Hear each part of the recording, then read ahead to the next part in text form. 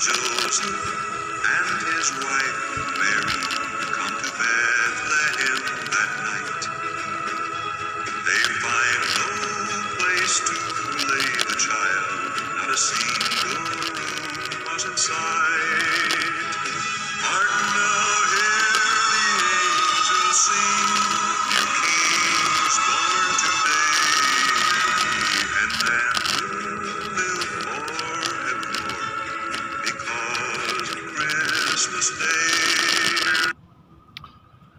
Man shall live forevermore because of Christmas Day. That's uh, Jim Reeves with uh, an old island song, uh, Mary's Boy Child. Well, I'm broadcasting this Christmas Day from uh, sunny California, but it's not so sunny. In fact, it just uh, started raining. They say it only rains twice a year here in this part of the state, uh, but it's rained uh, quite a bit since I've arrived. And uh, but you can still kind of get the feel of California. Not the most Christmassy uh, place on earth, but uh, the oranges are delicious, and it's a it's a good place to celebrate the birth of our Lord and Savior Jesus Christ. We want to look today at uh, John chapter 1. And uh, if you have your Bibles, please open them to that. But I have to warn you St. John's Christmas story has no angels. He leaves out Luke's shepherds and Matthew's magi. He has no little town of Bethlehem no dreams, uh, no dates, no holy family. These traditional elements were, of course, well known to uh, St. John, uh, because remember that John was the one who took Mary into his home uh, immediately following the death of Jesus on the cross. John had said, Son, behold your mother, mother, behold your son. And from that day on, we are told that John took Mary into his home. So if there uh, were anyone uh, familiar uh, with the details of the story of the Nativity, uh, it would be Mary who uh, knew them best. And certainly she shared them with John uh, over and over again, or he listened to her tell those stories to others and uh, we have what we believe is Mary's story recorded for us in the Gospel according to Saint Luke. Now, uh, even though John knew about all the colorful characters mentioned by the other Gospel writers, uh, the only one who figures prominently in the in the Christmas story, uh, as the other Gospels describe it, is John the Baptist. Uh, he will appear at the end of, uh, or throughout chapter one of, of, the Gospel according to St. John, uh, as a witness to the uh, to the to the arrival of the Messiah uh, in the person of Jesus. But for the others, for Mary and Joseph, Simeon and Anna, the daughter of Phanuel of the tribe of Asher, look at all those details.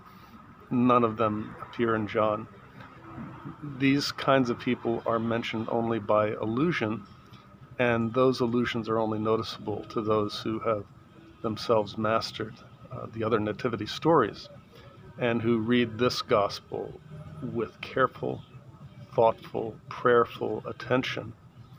I want you to watch, though, and see if you can pick out some of John's allusions to the other gospel stories uh, in his Christmas story. And we want to begin now in chapter 1, verse 9 of the Gospel according to St. John, where we read, The true light, which enlightens everyone, was coming into the world. Let's call this verse John's introduction to the Nativity of the Lord. Uh, really, all of chapter 1 leading up to this is, is, is, is introductory, but it's introductory to the whole Gospel this is where we really uh, kind of zero in on the nativity. Um, but uh, let's look at this. If, if Jesus called here both the Word and the true light, those are the names that John gives Jesus here. If he was coming into the world, uh, then the first thing that we want to notice is that his birth was not his beginning. And uh, so th- this leads us to understand that John frames the, the nativity not in terms of birth, but in terms of what the theologians call incarnation. That means the taking upon himself of a human body. Um, now, John has already made it clear at the head of the chapter that Jesus precedes creation and that Jesus indeed participated in creation. And as a participant in creation, he cannot be a part of that which is created. He's not a creature. And so here's the mystery how then can that which transcends creation enter it, be born into it? It is from John's gospel that the creedal phrase, begotten, not made, has its origin. Uh, he who was begotten of the Father before all worlds, uh, yet somehow entered our world in human form. This is a mystery. And uh, John doesn't resolve this mystery but he insists that we cannot see Jesus properly apart from it. Jesus' birth was not his beginning, it was his incarnation. Now, just after verse 9, John suspends his account of Jesus' arrival on earth and he jumps ahead to summarize the outcome of his life and ministry taken as a whole. Uh, we read here in verse 10 he, that is Jesus, was in the world, and the world was made through him, yet the world did not know him. He came to his own, and his own people did not receive him. Now, don't miss this. Uh, we spoke on Christmas Eve about having a heart like Bethlehem. A heart like Bethlehem has no proper space for Jesus. But Luke, but but John broadens the blame stain that Luke lays on the little town of Bethlehem, and he says it's not merely Bethlehem that has no room for the Messiah; his own people, that is, his own nation, Israel, did not receive him. So, did all Israel have a heart like Bethlehem? Was their collective response to the true light uh, to say no room, no space, no proper accommodation. I mean, it seems at first as if all Israel responded to the appearance of this light, John describes, by shielding their eyes and asking, "Turn it off! Turn it off!" like a like a teenager uh, who needs to go to school and his parents flick on the light switch and they say, "Please turn it off! Turn it off! I don't want to see it. Let me keep sleeping." Is that really the way all Israel reacted to the coming of the Messiah? Well, John admits immediately that he has uh, used hyperbole, he has overstated the situation. Not everyone failed to find space for Jesus. Not all hearts were like Bethlehem.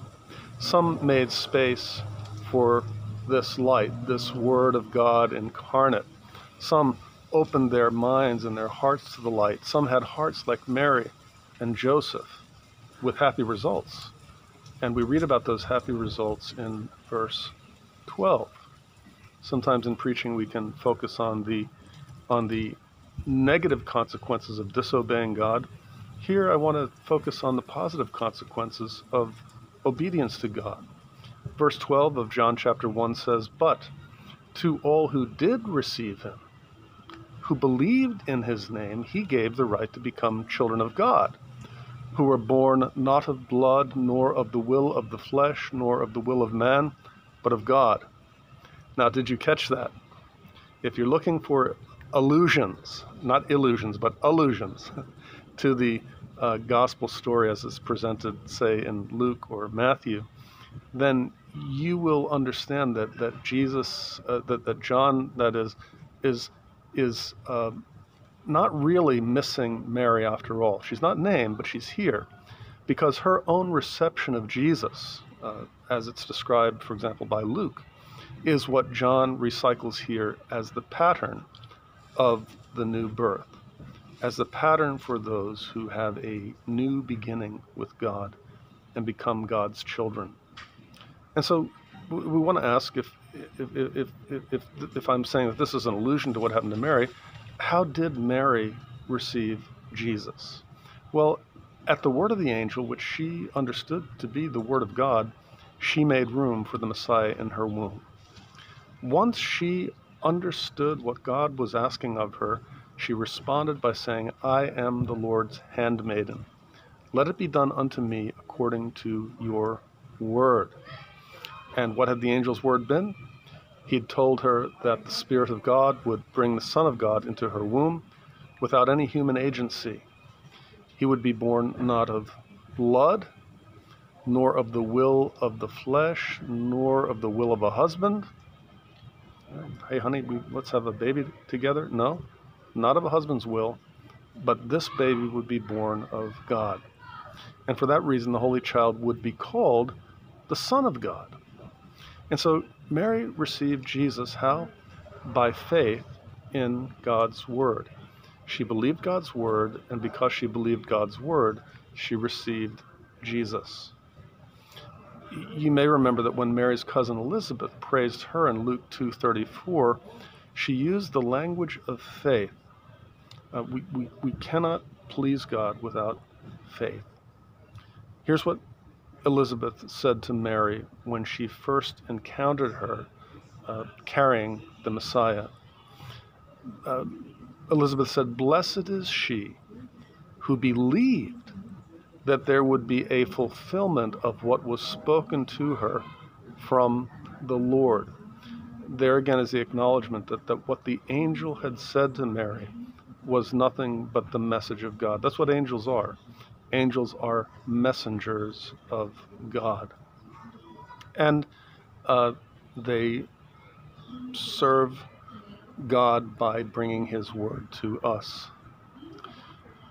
Well, the pattern that Mary uh, demonstrated is the pattern for all those who would experience a miraculous birth uh, and become the children of God. Follow me here. To, to receive Jesus means to believe as Mary believed. Uh, to, to receive Jesus is to believe on his name, to believe that he is indeed God's Son, our Savior. It, it means recognizing, as Mary recognized, that our Savior is uniquely God's Son. Uh, and the Messiah took up the most sacred, the most special, the most inconvenient place within Mary. He was a very expensive guest, but it was in making room for that inconvenient little neighbor, that inconvenient little guest, that embarrassingly inexplicable little guest, that Mary became God's literal dwelling place. From beneath the dome of that holy temple that was her body, the true light then came forth into the world of men. Um, the apostles uh, certainly enjoin us to hospitality uh, of, to anyone with this motivation. They say some have entertained angels without being aware of it. And so when you encounter strangers that need a place, uh, give them a place, feed them, take care of them. But Jesus really takes that idea further because he says that whatever we have done to the least of his brothers, we have done to him. Now, now Mary knew that she was receiving the Messiah. In other words, she didn't know that she was just re- she knew that she was not receiving just some ordinary uh, guest uh, at God's request. Uh, she knew that she was receiving the Messiah, but I wonder, did she know that in becoming the Messiah's dwelling place, she had literally become the temple of God? Did she fully understand that, that, that she was about to give birth to the one who, in his divinity, was his, her creator? Um, I think we see here that a heart like Mary's can do more than it knows it's doing by simply obeying the Word of God. When we obey the Word of God, He doesn't always explain everything to us. He just lets us know that this is His Word. The devil always challenges it. You know, is has God really said? This, that, or the other thing. But but Um, if we obey God's word simply because it is God's word, we will often find that we have done more than we uh, even understood. On the other hand, a heart like Bethlehem excludes more than it knows by its disobedience to God's word. And so notice this parallel as well. Mary presents herself as God's handmaid, God's servant.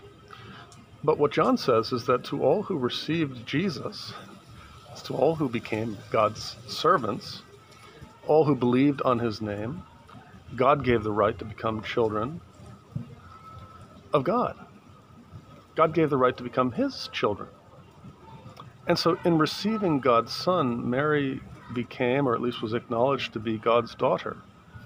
Uh, in a like manner, when you respond to God's instructions with the phrase, Your servant, heaven answers back, My child.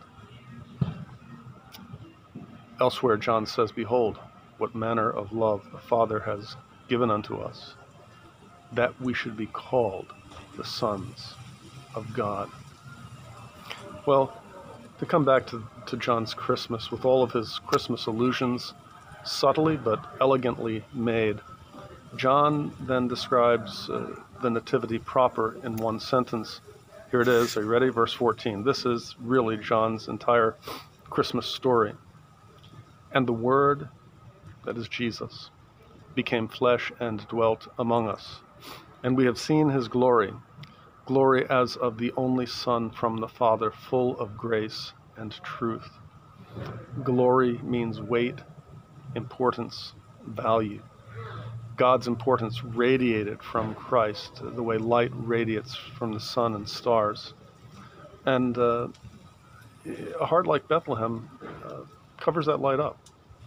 It shoves what is most important into that space of life that is least important.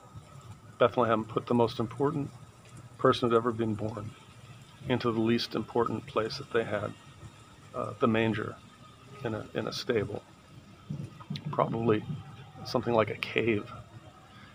And uh, so, if a heart like Bethlehem shoves what is most important into that space of life that is least important, we have, on the other hand, the heart like Mary the heart like Mary believes no space is too God, good for God and for his requested use. God gets what he asks. His word is her only priority. She is God's servant and her obedience is absolute. Bethlehem gives Jesus uh, a manger in a stable. Israel could allow Jesus only to be a teacher or a prophet, maybe, but not Lord and Christ. They didn't have room for that kind of Jesus. Well, C.S. Lewis once said this Christianity, is, if false, is of no importance, and if true, of infinite importance. The only thing it cannot be is moderately important. And I think that that, that last phrase is, uh, is troubling because it seems to me to describe much of the Western world. We have decided that Jesus is somewhat important we like some of his teaching, some of his uh, instructions, uh, a bit of his example. We like the fact that he didn't have the, the, the, the woman caught in adultery stoned and that he rubbed the noses of the religious hypocrites in their hypocrisy. But there are other things about Jesus that we don't like so much, and so we do give him some space, but not much space, and certainly not the most important space. And C.S. Lewis says that won't do uh, and the Bible certainly agrees with that. Um,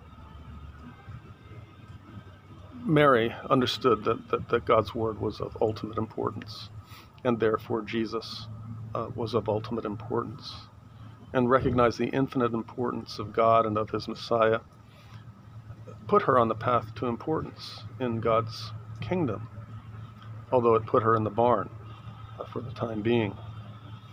And so the question that I would uh, pose is do you have a heart like Bethlehem or a heart like Mary? And my suggestion is that you can have a heart like Mary if by God's light you seek what's most important. If you listen to God's word, if you open your eyes to that light that entered the world at the incarnation, listen, that light is still shining. The darkness did not and could not overcome it. The time is still right. The way is still open. There's no spiritual lockdown, not yet, at least. To all who receive Jesus still, to all who believe in his name today, he still gives the right to become the children of God. And uh, that's my own desire. I hope it's your desire that we might be called the children of God. Behold, what manner of love the Father has given unto us, that we should be called children of God. In the name of the Father, and of the Son, and of the Holy Spirit. Amen.